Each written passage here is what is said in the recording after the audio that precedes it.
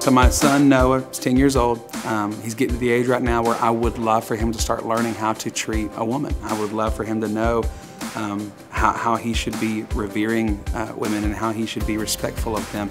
I hope before I ever say a word though that he sees that. I hope he sees me looking at my wife, that I'm serving my family, that I'm looking at her and, and not just with an adoration and just a, a, a love, but also just like this, this me wanting to be a servant, a helpmate to her. So I hope it's the first thing that he sees. And then from there, you know, we, we try to pull things in. Yeah, I try to let him know, like, here's the reason why I opened the door for your mom. Here's the reason why we try to go on a date. And we love you kids, but we need to have this special time because I want her to feel special. And so a lot of it is just kind of living out by example. We try to surround him around good men in our church. Uh, and luckily, we have some great guys around too that he's seen that from as well. And so, in fact, the school he just started um, this past fall, they have to pull out the chairs for the girls before they can even sit down.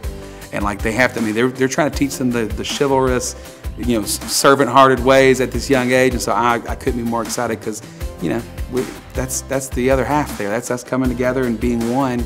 I have to make sure I'm respecting my flesh, and so I hope he sees that in our house.